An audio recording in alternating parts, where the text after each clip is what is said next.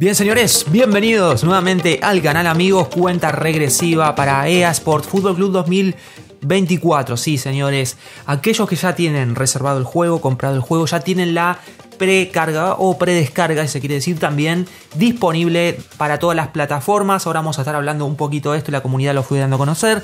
Y vamos a hablar de otras noticias, de otras cositas en relación al juego que se están por venir. Así que amigos, atentos al canal porque próximamente vamos a estar con todo subiendo contenido a full en el canal de A Fútbol Club 24. Como siempre, gracias por estar. Les agradezco que revienten ese like para más.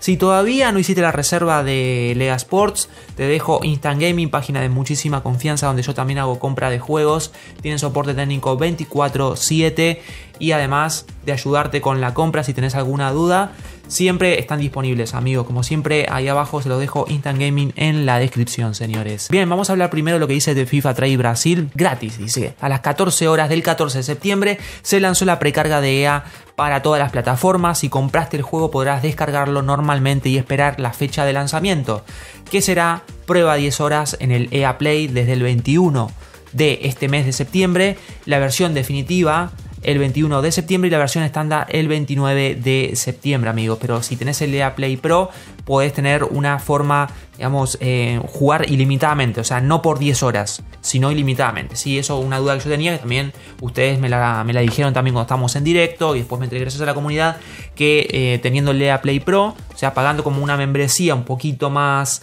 cara que la versión estándar en lo que es la PC, eh, podés tener acceso ilimitado. O sea, desde. Puedes jugarlo una semana antes, las horas que vos quieras.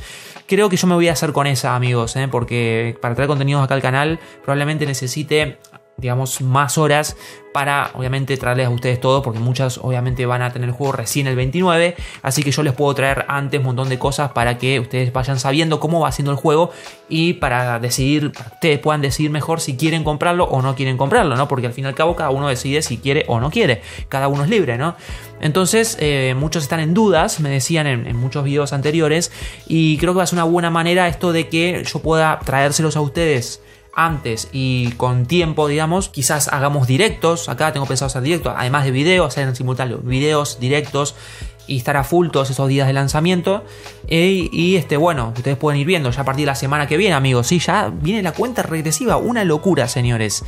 Así que bien, ya está disponible. Sí, acá está la, imagen de, lo que es eh, Lea Play. Esta es la, la aplicación de PC, ¿sí?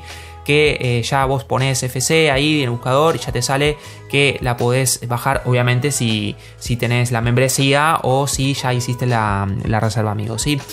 David Jackson, que es uno de los principales cabecillas de EA Sports Football Club. Saben que hubo una entrevista hace poquito, la trajimos acá en el canal. Estuvimos viendo por arriba lo más importante que dijo en dicha entrevista, pero siguió diciendo cosas importantes. Y miren esto, amigos.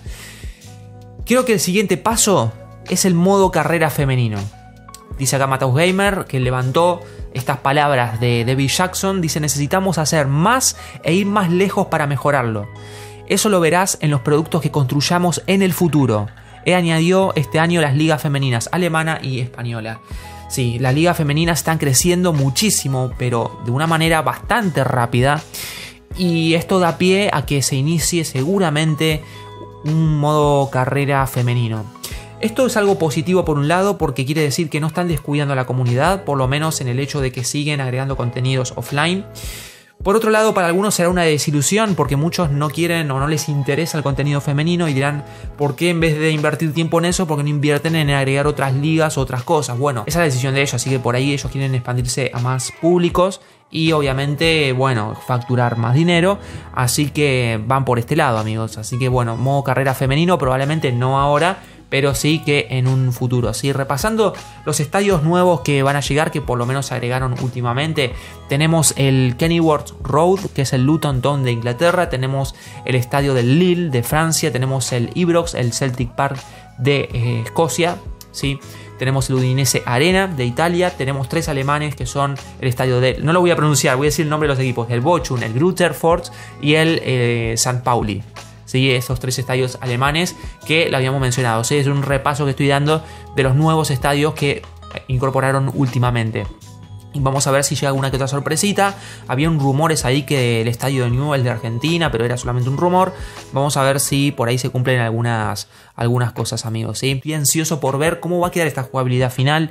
En la beta sí que habían ciertas mejoras con respecto a FIFA 23, aunque ya lo dije en los videos que fuimos hablando sobre el tema, que tampoco no son mejoras totalmente radicales y estupendas, pero sí que hay un pequeños ajustes y retoques en varios aspectos del gameplay y espero que por lo menos en la versión de lanzamiento tengamos un juego mucho más acorde que FIFA 23, ¿sí? Por lo menos haya menos patinajes, que por lo menos eh, las físicas estén un poco mejor, las físicas tanto de la pelota como de los jugadores, los sistemas de choques, de colisiones, de pases, el traslado del balón, la conducción del balón y todas esas cosas son tan importantes, amigos. Esperemos que estén eh, dentro de todo bien, ¿sí? Tenemos una nota de campo que acaban de sacar apenas hace unas horitas con respecto al acceso anticipado y también con respecto a la campaña de Nike que va a llegar en Ultimate Team. Dice acá Gordon Far, Farquhar, ¿sí? no sé cómo se pronuncia el apellido, que es de Asports, es un gerente principal de Asports.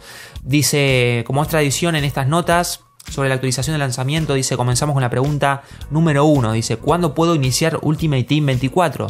Lanzamiento de la aplicación web y complementaria, dice, sabemos que prepararse para la próxima temporada es una parte crucial del lanzamiento de Ultimate Team. Dice, a partir del 20 de septiembre podrás iniciar sesión en la aplicación web y a partir del 21 de septiembre podrás descargar una versión actualizada de la aplicación, ¿no?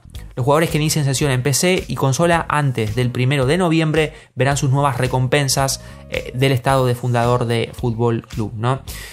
Después tenemos el lanzamiento de acceso anticipado. Esto es lo que estamos mencionando antes. Si reservaste Ultimate Team, podrás acceder. Eh, perdón, si reservaste Ultimate Edition de EAFC, podrás acceder a Ultimate Team 24 a partir de la medianoche del 22 de septiembre, tanto para Sony y Microsoft, o sea, PlayStation y Xbox. Y este 22 de septiembre en PC. Los miembros de EA Play van a poder jugar 10 horas a través de la prueba. Bueno, esto ya lo habíamos mencionado, ¿no? Y los de EA Play Pro, hasta lo que estábamos diciendo antes, tenían acceso ilimitado.